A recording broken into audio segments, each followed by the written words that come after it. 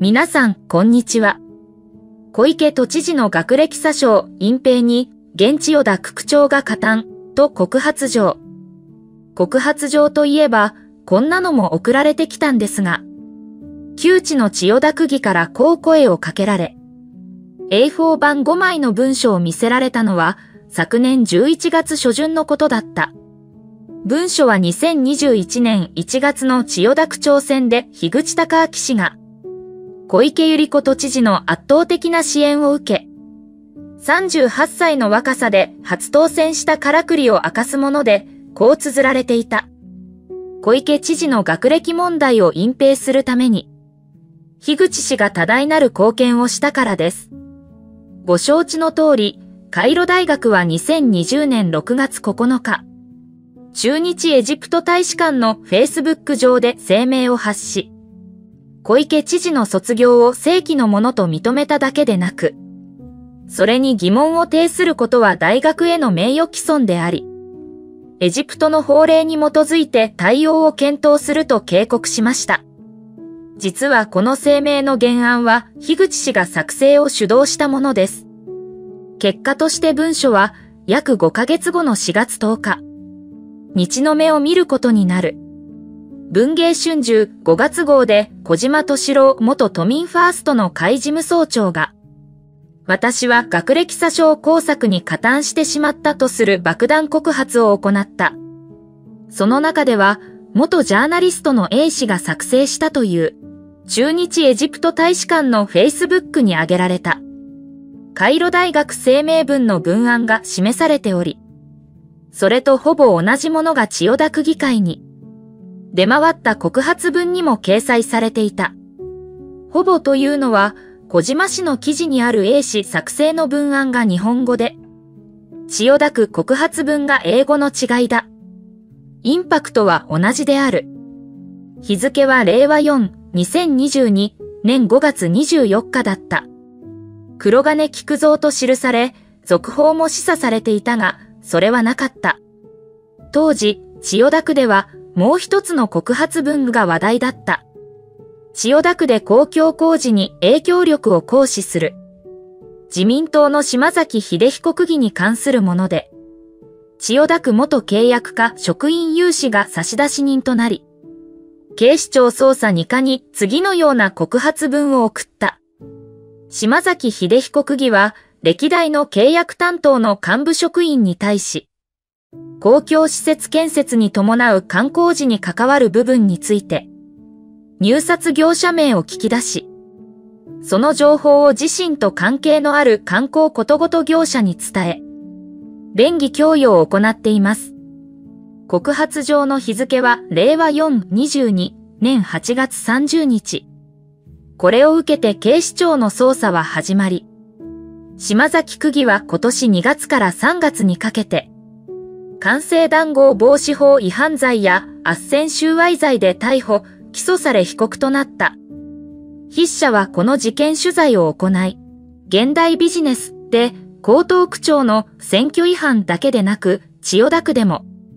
不正と金、まみれの都政に救う。しがらみ政治と題して23年11月16日に配信した。同時に、樋口氏が加担したとされる。小池氏の学歴詐称の隠蔽工作疑惑についても取材を進めた。文書に残されたメールの履歴と当時の小池氏や樋口氏、都議会の動きを照合。当時を知る議会関係者や都庁担当記者に話を聞いたが、メールに記載された文書の信憑性は確認できなかった。何より記載されていたメールは印刷された文書のコピーである。メールがアドレスを含め、いくらでも改ざんできるのは、06年に発覚した偽メール事件で明らかであり、怪文書の存在を表にすることはできなかった。偽メール事件は告発した代議士の辞職、その後自殺につながり、前原誠治民主党代表の隕石辞任を引き起こした。だが、告発上の意味するところは大きい。小島氏が指摘しているように、A 氏が書いた原案と Facebook に掲載された、カイロ大声名文との違いは、小池氏が最も気にしていた部分である。小島氏は卒業名簿にその記載があるという部分が削られた理由として、卒業名簿に名前があるかどうかに疑念が残るからではないかと推察し、公正な審理と手続きを経てなされたが削除されたのは、実際には審理も手続きもしていなかったからと読む。また、二つ目の変更点として、A シアンの日本、エジプト双方の法令に基づき、適切な対応を検討しているから日本が削られて、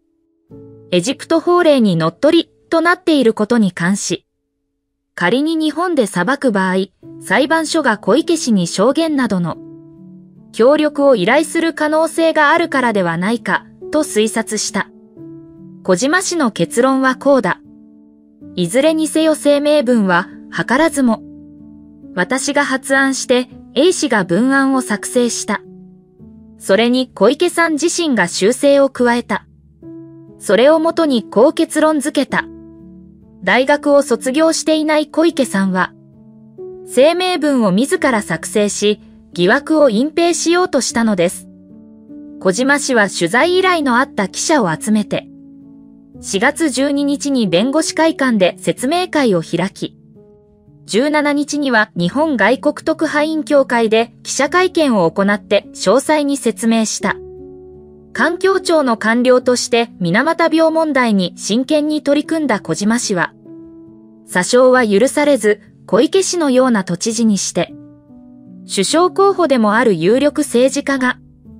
エジプトに弱みを握られてはならないという強い思いで告発に及んだ。隠蔽工作に図らずも絡んだというじくじたる思いもあり、告発は続けるだろうし、今は匿名の A さんが表に出ることも考えられよう。すべての責任を負うべきは小池氏だが、千代田区長という公職にある樋口氏の責任も重い。告発文が指摘するまでもなく、コロナ禍の緊急事態宣言下にもかかわらず小池氏が、区長選において連日応援に駆けつけたのは異例なことだった。都議一期の実績しかない樋口氏が、自公が推薦する候補を大差で破ったのは、小池氏の応援の賜物である。それだけに、小池氏の隠蔽工作にどう加担したのか。小池氏からどんな指示を受け、A 氏とどんなやり取りをしたのかを含め、説明責任を果たす義務がある。筆者は樋口氏のアドレスに改めて、取材依頼のメールを送ったが返事はない。何より樋口氏は発売日以降騒動を避けるように、この件に関して情報を発信していない。もちろん逃げ切りはありえない。そういうことにしちゃったの。うんと小池百合子、虚職の履歴を50年間秘めていた。カイロ時代の同居人の思いも合わせてお読みください。カイロ大学で2年過ごした同居人。その人の名は北原百葉さんという、女帝小池百合子、文芸春秋で作者の石井妙子氏は、小池百合子東京都知事の虚職の履歴を描いた。北原さんはその最大の情報源であり、1972年から76年にかけてエジプトカイロで共に学び、2年間を共に過ごした同居人だが、早川玲子というかなだったために、その存在が疑われたこともある。11月8日の文庫本発売を機に、実名告発に転じた北原さんに会った。1941年生まれの82歳。中近東に興味を抱く人が少なかった50年前。単身、カイロに渡り、アラビア語を習得してガイドとなった。その経歴にふさわしい真の強さと嘘は、許せないという正義感を持つ人だった。何度も報じられ都議会でも取り上げられた。小池都知事の学歴詐称疑惑は、本人が卒業証書と卒業証明書を提示して否定。カイロ大学が小池百合子氏の卒業を認めると、在日エジプト大使館のホームページで発表しているものの、卒業時の状況や小池氏の行動履歴や言動から、順調に進級して4年で卒業したというには疑問が残る。そして何より疑われるのは、当時の日記や手紙といった証拠とともに北原さんが明かした証言の数々だった。小池氏のエジプト政府への影響力を知る北原さんは、告発が自身と家族に及ぶ悪影響を恐れ、3年前の書籍化時点ではカナを望んだ。しかし、このままカナでは、私という存在が疑われる、という思いと、ジャニー北川氏の性加害問題が、カウアン岡本氏の実名告発によって、大きく動き出したことに刺激を受け、一歩前に踏み出す覚悟を決めたという。72年5月の出会いから今日までの50年に、及ぶ小池氏への思いを聞いた。小池百合子さんと72年5月から同居してみていかがでしたか？当時、彼女は19歳。カイロにそんな若い女の子はいないので、日本のいろんな方が遊びに来てアイドルでした。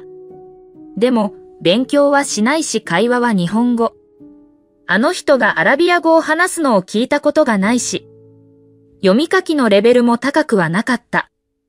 それでも76年5月末から始まった進級試験は頑張って勉強したとか。さすがに来客も控えめにして、一生懸命机に向かって勉強していました。鉛筆が短くなると、もう一本をセロテープで、止めて最後まで使い切っていたのが印象的です。彼女は節約家なんです。試験は1ヶ月にも及び、7月上旬に発表されるんですが、落第でした。どんな様子でしたか？落ち込み、塞ぎ込み、これからどうしようと思い悩んでいました。追試を受けることはできなかったし、学部変更は1年からまたやらないといけない。もちろん生活費は必要です。そこで日本航空の現地スタッフとして働き始めたんです。彼女が日本のマスコミに大きく取り上げられるのは、76年10月、サダト大統領夫人のエスコート役を務めてからでした。9月下旬に小池さんのお父さんから連絡があって、すぐに帰ってこいと旅費を工面して慌ただしく帰っていきました。11月上旬に帰国して見せられたのが日本の新聞。そこではカイロ大学に学び、日本人女性としては初めて同大学で学士号を取得となっていました。